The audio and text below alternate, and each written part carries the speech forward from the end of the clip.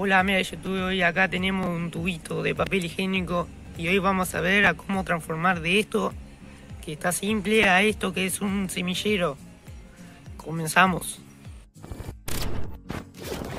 Hola amigo de YouTube, en este nuevo video tutorial de la huerta de Franco. Entonces acá tenemos el tubito, precisamos también una tijera normalita. Entonces acá empezamos a hacer así. Primero doblamos. Así. Después doblamos también a la mitad. Así. Entonces ahora tienen que cortar así. No tanto. Entonces ahora tienen que empezar a doblar. Tienen que empezar a hacer así.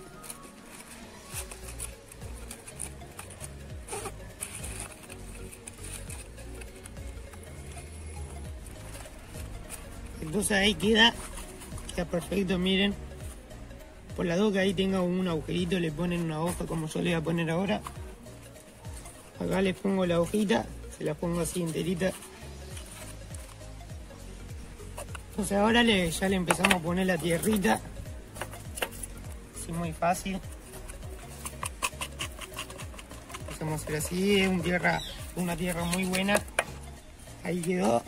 Entonces ahora, ahora es solo plantar una semilla. Yo ya, yo ya voy a poner alguna semilla y la plantamos. Entonces ahora ponen ahí la semilla. Son caléndulas por las dudas. Después vamos a hacer la segunda parte trasplantando esto a tierra y ustedes no saben algo.